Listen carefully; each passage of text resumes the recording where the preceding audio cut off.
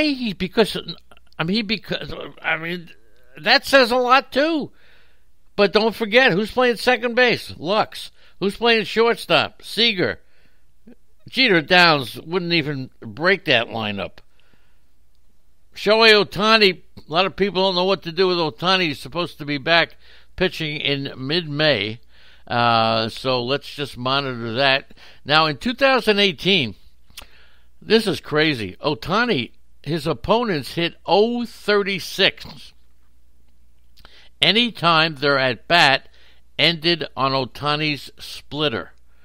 They were 2 for 55, and that was the lowest opposition batting average for any pitcher on any pitch type with a minimum of 150 pitches. I mean, he, when he ended in a bat with a splitter, 2 for 55. Holy mackerel. So he's making progress, all right, and he's really among Maddon's most important concerns over the next six weeks in Arizona. So the Angels are targeting mid May for Ohtani's return to the big league mound. Billy Eppler said that Tuesday, while pitchers and catchers reported to the uh, Diablo Temp was it Tempe Diablo Stadium? I think that's where they train. Ohtani will be available as a designated hitter, however, on opening day, uh, but he will take days away from the big league team so that he can make rehab pitching starts in the minors. So for those of you who are anxious to get Ohtani, He's not going to. He's not going to be in the lineup. He's going to be making rehabs, pitching starts in the minors. So even though he could be playing, they want him to pitch as, as well.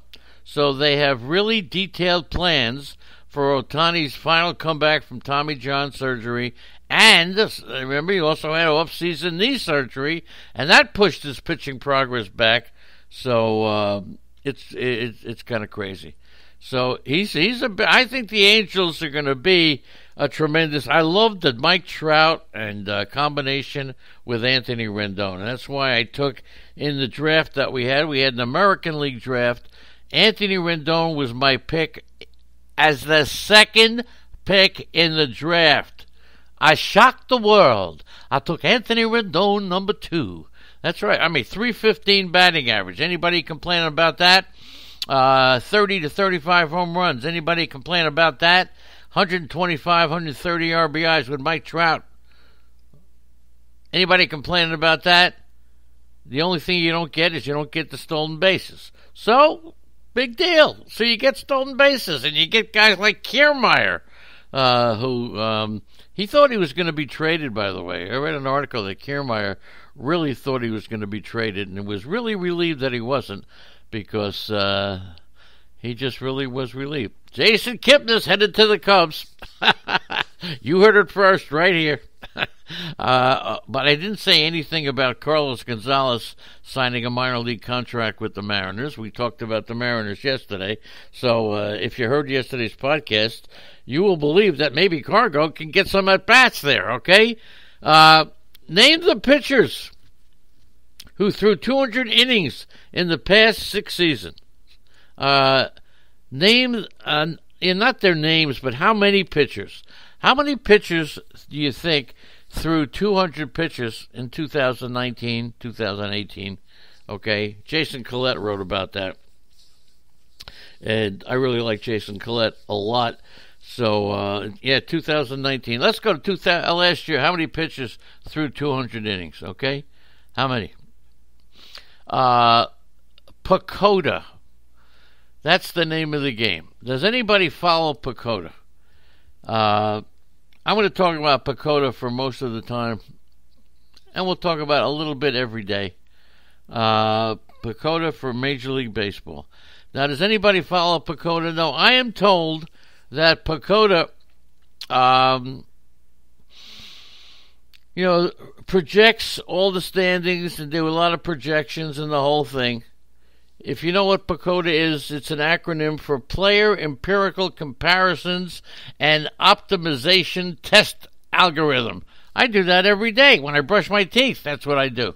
It's a sabermetric system that they use for forecasting the Major League Baseball player performance and uh, also team performance. And what they do is they actually, this is what I'm told, that they actually play a thousand seasons.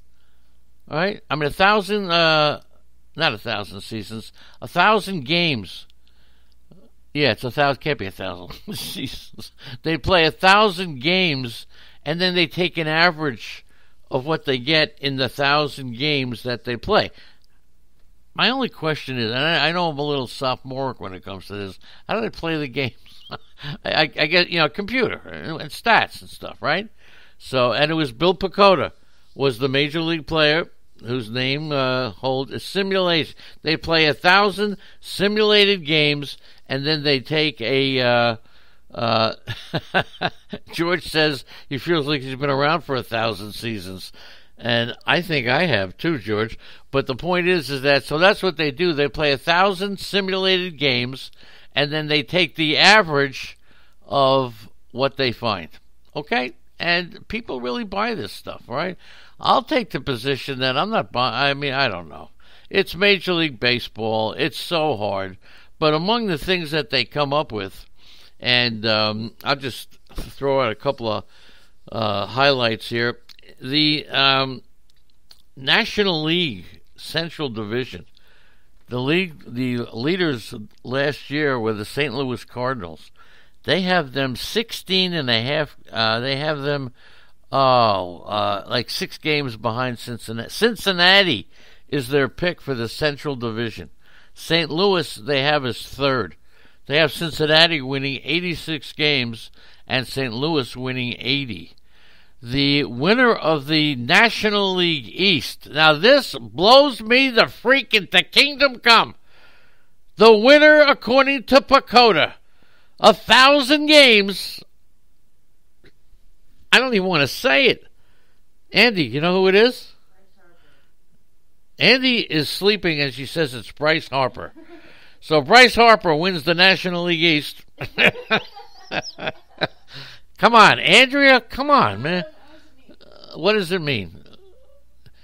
Yeah, but I, I'll tell you, I'd like to invite the entire chat room here to watch Andrea sleep one day, okay? Because she comes she in the middle of the night she does auctions she does bidding uh, but now when i ask her who who does PECOTA have as the winner of the national yeast andrea says atlanta they have atlanta for third with 80 yeah 82.8 wins they have the New York Mets winning the national. Does anybody like PECOTA? Is anybody buying this malarkey? They have the New York Mets winning the National League East with 87.8 games. Okay, uh, the uh, uh, Dodgers are the big winner, 102 and a half games. Okay, they got San Diego second. What all? I, I also Atlanta's third. Philadelphia they only have for 76 wins.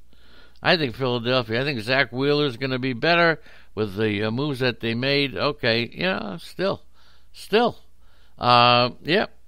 So a lot of stuff in the National League. They have uh, Washington second. Marlins they still have less, but 71 wins. That's not terrible. They have the Chicago Cubs second to Cincinnati with 84 wins, and uh, they have San Diego. I don't like where they have Arizona with only 79 wins. Uh, they have San Diego just ahead of them in second place, and that could go either way. I, that I, I think San Diego and Arizona very close. So I'm not going to argue with that. But when they have the Dodgers at 102, and this is after the Mookie Betts trade, that's pretty freaking unbelievable, right? So there you go. That's a little bit of PECOTA. Tomorrow we'll talk about what PECOTA says. Uh, and of course, George says the Mets can win the East in 2020, but they usually disappoint. I mean, come on, the Amazons. What do you have to say about that? We got the Amazons. You know what the Amazons means? The Amazons is the amazing Met fans, and uh, he's in the uh, in the chat room, very quiet, probably passed out. To be very candid, uh, but the Amazons is here and being very quiet. Okay. PECOTA picks. That's why it's not. That's why it's not the Trout projections. It's the PECOTA projections. Oh, my prime time. What do you think? It's a New York team. You should appreciate. Dr. Bob. Nice to have you with us, Dr. Bob. Okay. Let's do a couple of things that I actually prepared for now, okay? Uh, as I mentioned, Jason Kipnis expected to be added to the mix at second base. So the competition at second base became even more intriguing. Why is it intriguing? And Kipnis is a Northbrook native. And every time we go into a place in Northbrook, one of you know the uh, Jewish Center or a couple other places, it's all about Jason Kipnis. He's a star. He had 70 home runs for the last four seasons, expected to join the Cubs on a minor league contract, passing a physical. He's only 32. He'd give the Cubs a strong left-handed hitting option, okay?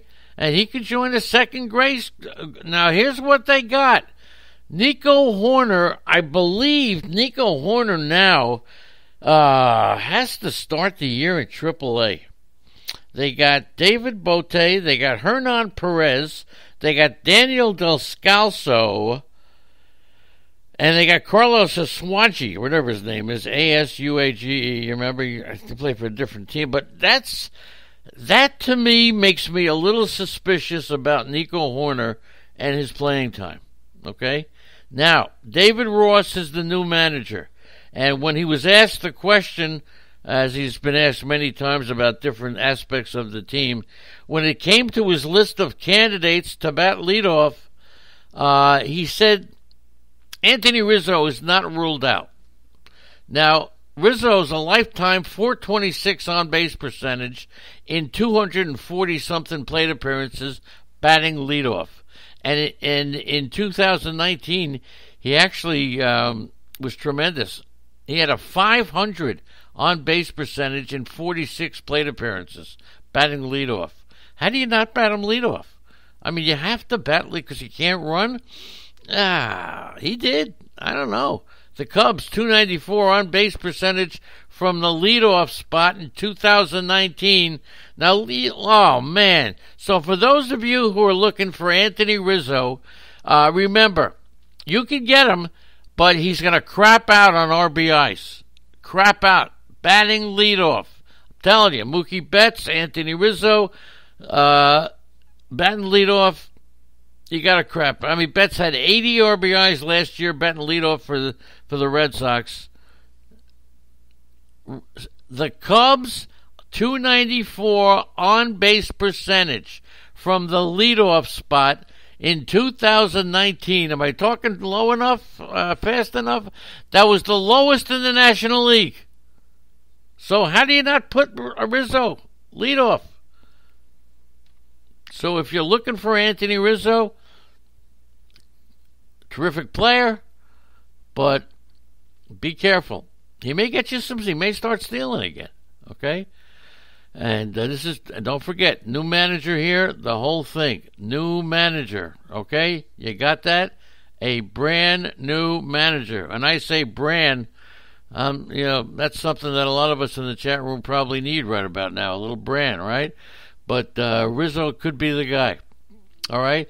I put up a uh, a poll on Twitter and on uh, Facebook. Now the poll is very simple, and it goes something like this: Ketel Marte will Ketel Marte have All Star stats this year? as per 2019. Now we only have about uh, slightly less than 100 votes so far. Will Ketel Marte have all-star stats this year as he did in 2019? Will he hit those home runs? Uh, the we've had about we got about 73% that say no. 73% say no on Twitter. That is very interesting. That's a very large percentage that uh, a lot of people do not believe that Ketel Marte is going to have anywhere near what he had last year. Okay. Now on Facebook, I'm just looking at it now. Facebook and Twitter are always different, uh, but on Facebook uh, we have uh, 18, 18 uh, we have 15 people say no, and nine people say yes. What do we think? Will Ketel Marte do what he did last year with some terrific All Star stats? Okay, that's the answer right there. And and look, uh, They lost, you know, look, they found